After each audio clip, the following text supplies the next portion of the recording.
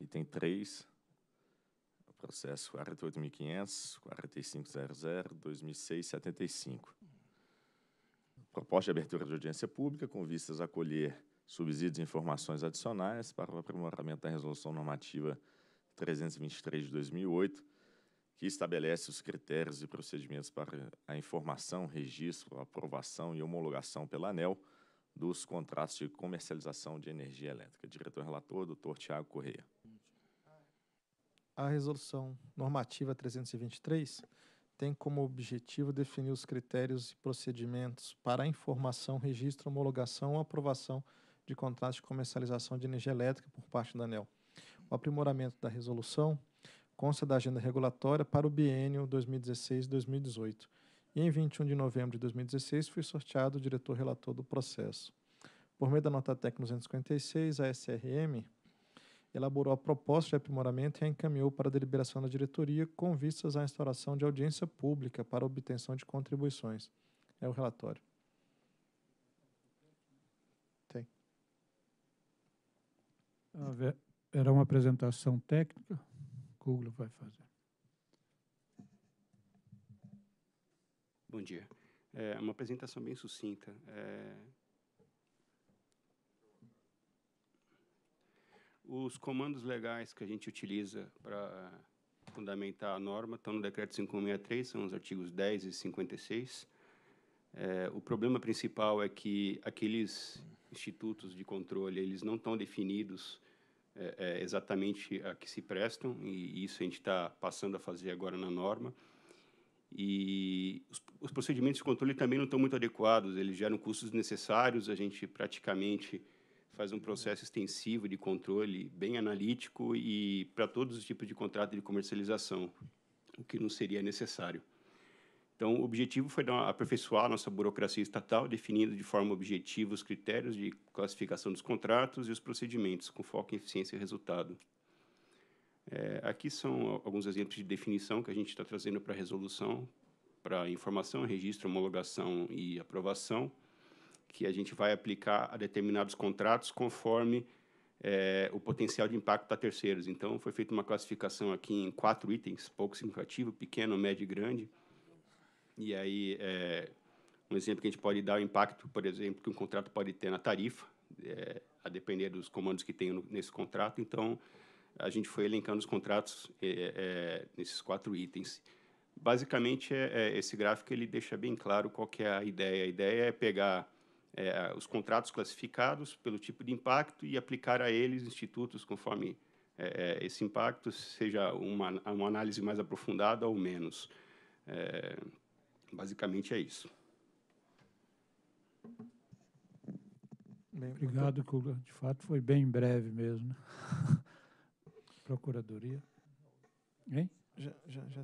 Ah, até você já.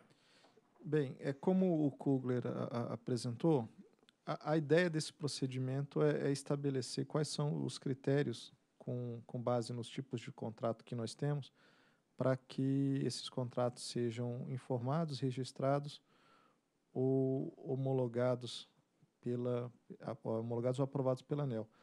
Bem, eu vou também, é, de certa maneira, é, o objeto da audiência pública é exatamente ver se essa classificação está adequada, né? O universo de contratos ele já já é conhecido né? e já já é dado pela realidade. Então a ideia é saber se a classificação está adequada. Então eu vou ler para vocês como foi feita a classificação. Se puder ir no parágrafo 14 as classes de contrato conforme a classificação de impacto em terceiros, né, conforme sugerido pelo SRM, define como um índice de, de, de risco muito baixo é, é, contratos que não há determinação legal para transferência dos resultados de contrato a terceiros. Assim foram classificados os contratos de energia do ambiente livre, né, o CC-EAL, e o CCV, que são os contratos. Onde é que está a definição? do, dos varejistas. É, em seguida, para o risco baixo, tem os CCARs, são aqueles contratos com os quais a admissão das cláusulas e a finalização dos contratos sejam realizados pelo poder público, são assim classificados como CCARs, que são os contratos de ambiente regulado, o CER, que é o ambiente de reserva, os contratos de troca do MCSD, esse 8 MCSD trocas livres mensal, e os contratos do leilão de ajuste. São contratos muito regulados, por isso que o risco é baixo. O risco considerado médio foram aqueles contratos cujas condições contratuais encontram-se regulamentadas de forma exaustiva, mas a admissão das cláusulas ou a finalização dos contratos não é realizada pelo poder público, sendo assim classificados os contratos, é, os CCES, que é o contrato de comercialização de energia elétrica nos sistemas isolados, o CIE, que é o contrato de importação e exportação de energia elétrica, o CCVE, aí tem um nome bonito, né? 500 SUP. É o contrato de compra e venda de energia celebrado por distribuidoras com mercado próprio inferior a 500, por um agente supridor. E o CCVE Proinfa, que é o, o contrato de compra e venda de energia associado ao Proinfa. E com risco alto são aqueles contratos cujas condições contratuais não se encontram regulamentadas de forma exaustiva, sendo assim classificados é, os tipos de contrato de compra e venda é, 500 LP, que é o contrato de compra e venda de energia celebrado por distribuidores de mercado inferior a 500 por licitação pública, e os contratos de compra e venda dos sistemas isolados anteriores a 2009 e os contratos de comercializações anteriores a 2003. Essa é a definição. Então, a forma de controle já foi apresentada pela, pelo, pelo Kugler, pela SRM, de modo que, como se trata também de, um, de uma abertura de audiência pública, se os senhores permitirem, eu iria direto à leitura do dispositivo. Então, pelo exposto no que consta o processo 4850004 voto pela abertura de audiência pública por intercâmbio documental no período de 9 de dezembro a 6 de fevereiro de, de 2017, ficou faltando um aqui, visando colher subsídios e informações adicionais para aprimoramento da Resolução Normativa 323 de 2008, que estabelece os critérios e procedimentos para informação, registro, aprovação e homologação pela ANEL dos contratos de comercialização de energia elétrica. Eu registro ainda que a gente verificou no âmbito desse processo que, caso ele seja aprovado nesses termos, vai ser preciso alterar é, a portaria de delegação lá da, da, da SRM em relação à informação, né? Que não está previsto na norma atual mas tem que ser aprovado primeiro. Depois a gente faz o encaminhamento na reunião administrativa. É o voto. Em discussão.